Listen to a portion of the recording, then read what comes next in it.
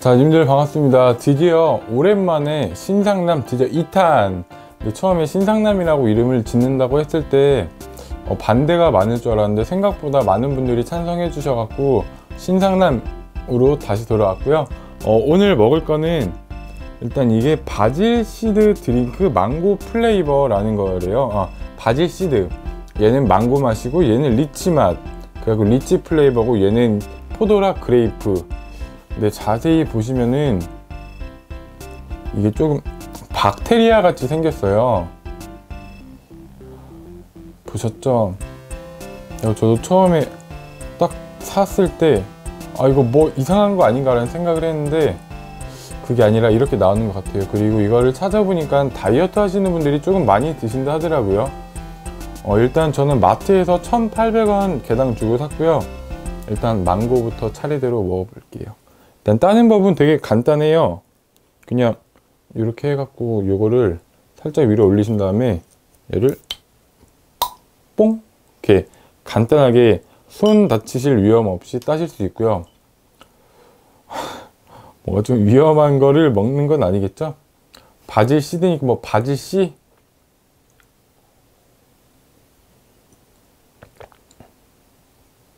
응? 응?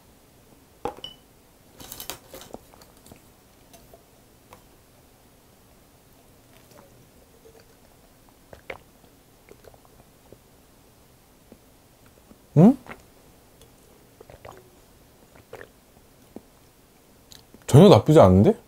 그냥 망고 맛이 나는 주스 뭐 과일 음료인데 거기에 우리 그 바닥 코코넛 무슨 과자고 뭐지? 코코팜 음, 그런데 먹는 게 조금 작은 게 들어가 있는데 그 안에 그 작은 그 젤리 같은 알갱이 안에 뭔가 또 씨가 있어요. 음.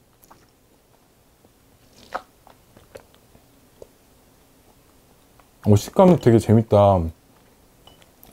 음, 망고 일단 그냥 망고 주스 맛인데 그 우리가 시중에서 살 수 있는 망고보다는 조금 어, 묽고 우리 일반 망고 주스는 되게 걸쭉하잖아요.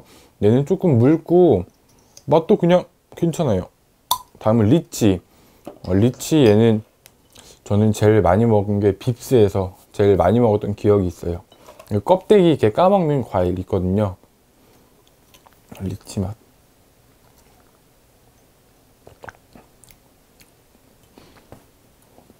리치는 리치 음료는 우리나라에서는 구하기 힘든 음료 중에 하나죠. 별로 안 파는데 혼자 리, 리, 리, 그만 나.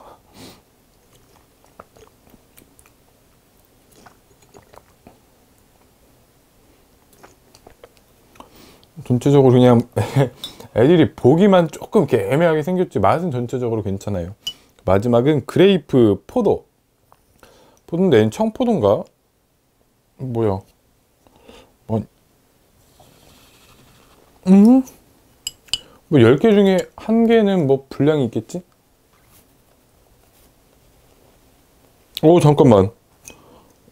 신상남 2회 만에 드디어 큰 위험이 닥쳤어요. 어, 이거 어떻게 하냐?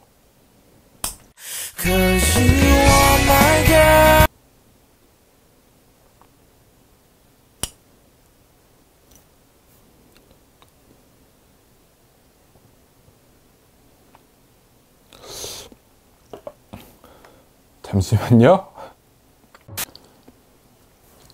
네, 제가 어, 많은 당황을 한 건 아니고 어, 일단 그래갖고 급하게 칼로 이렇게 위에만 잠깐 뚫었고요. 우리는 빨대가 있으니까 일단 어우 빨대만 싹 꼽아갖고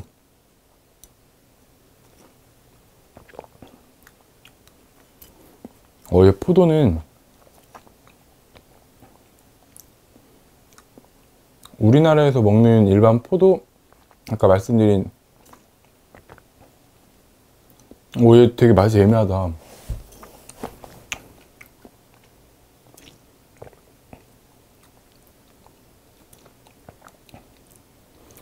포도 같긴 한데 뭔가 조금 달라요 조금 더 느끼하다 해야 되나?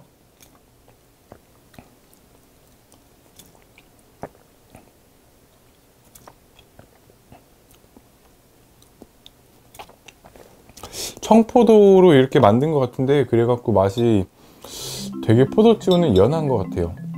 일단 저는 세 가지 이렇게 맛을 봤는데 전체적으로는 애들이 생긴 것보다는 맛도 괜찮고 음 그리고 씹는 감이 입안에 넣었을 때 감이 조금 재밌어 갖고 저는 다음에 또 혹시나 사게 되면은 살 의향은 있어요. 근데 이거 들고 다니면은 사람들이 좀 이상하게 볼 거야 박테리아 있는 거 먹는다고.